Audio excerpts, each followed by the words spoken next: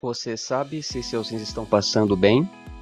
Olá, eu sou Antônio Lender, médico clínico geral e nefrologista. Doença renal crônica, ou DRC, é comum. Estima-se que um em cada dez adultos possui algum grau de DRC, enquanto um em cada quatro idosos também possui algum grau.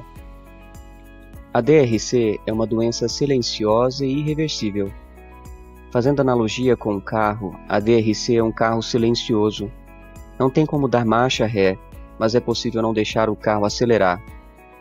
O tratamento da DRC visa frear a progressão da doença para o estágio final e, a depender da causa, pode até estacionar a doença. Conforme o censo de 2019 da Sociedade Brasileira de Nefrologia, o número de pacientes em hemodiálise saltou de 77 mil em 2009 para quase 140 mil pacientes em 2019, ou seja, praticamente dobrou em 10 anos. Você sabia que a maior parte dos pacientes que fazem hemodiálise tem idade inferior a 65 anos? E que um quinto dos pacientes que fazem hemodiálise tem idade entre 20 e 44 anos? Isso mesmo, trata-se de população em idade economicamente ativa é praticamente a mesma proporção de pacientes que fazem hemodiálise e têm idade superior a 65 anos. Estima-se que a prevalência, isto é, o número de pacientes existentes em hemodiálise no Brasil seja de 650 por milhão da população, ou PMP. Então, se você mora em uma cidade com 100 mil habitantes, espera-se que haja ao menos 65 pessoas em hemodiálise. Considerando que o Brasil possui 210 milhões de habitantes, espera-se que haja ao menos 130 mil pessoas fazendo hemodiálise no momento. Estima-se que a incidência, isto é, o número de pacientes novos que iniciam hemodiálise no Brasil, seja de algo em torno de 200 por milhão da população. Então, se você mora em uma cidade com 100 mil habitantes, espera-se que ao menos 20 pessoas vão iniciar hemodiálise por ano. Considerando que o Brasil possui 210 milhões, espera-se que haja ao menos 42 mil indivíduos começando hemodiálise por ano. Se você pensa que o número da população em hemodiálise é relativamente pequeno, você deveria saber que a maior parte dos doentes renais morre antes mesmo de precisar de hemodiálise. Se você conhece alguém que faz hemodiálise, ele é um sobrevivente. Apesar de sobrevivente, dois em cada dez pacientes em hemodiálise morrem por ano. Cerca de 30 mil pacientes aguardam em fila de espera por um transplante renal. Esses dados nacionais são essenciais para a elaboração de políticas de saúde pública, para melhorar a prevenção e o tratamento das doenças crônicas. Como você descobre se você tem DRC? É muito simples.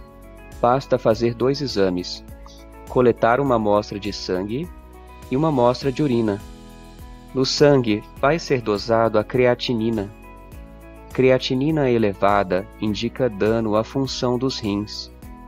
A disfunção renal pode ser aguda ou crônica a depender de quanto tempo a creatinina está elevada. Na urina, vai ser pesquisada a presença de albumina, que é uma proteína. A presença de albumina ou proteína na urina é conhecida como albuminúria ou proteinúria, e isto indica dano à estrutura dos rins. Quanto maior a creatinina e a albuminúria, mais grave é a doença renal. Há duas formas de insuficiência renal a forma aguda e a forma crônica. Insuficiência renal aguda é o aumento rápido da creatinina, em poucos dias, e potencialmente reversível. Já a insuficiência renal crônica é o aumento lento da creatinina, em meses ou anos, mas é irreversível.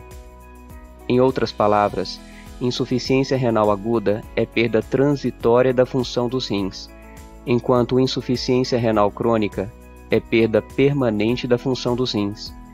Se no presente momento você possui dosagem de creatinina elevada, tente resgatar um exame anterior para comparar. Se a alteração já existia, é muito provável se tratar de doença crônica. Através da creatinina, o seu médico ou laboratório pode estimar o quanto seus rins estão funcionando.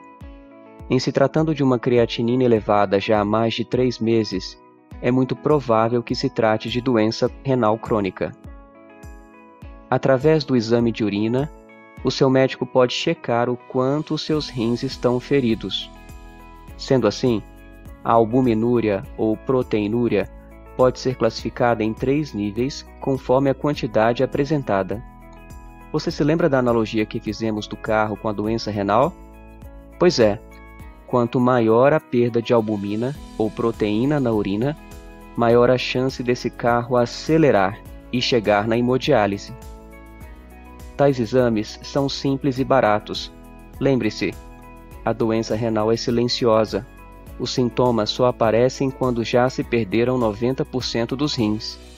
Então, avalie com seu médico se você precisa ou não desses exames. Mas já lhe adianto: se você tem ao menos um desses fatores de risco, tais como pressão alta, diabetes, obesidade, história familiar de doença renal, se você fuma ou tem problema cardíaco, você precisa desses exames.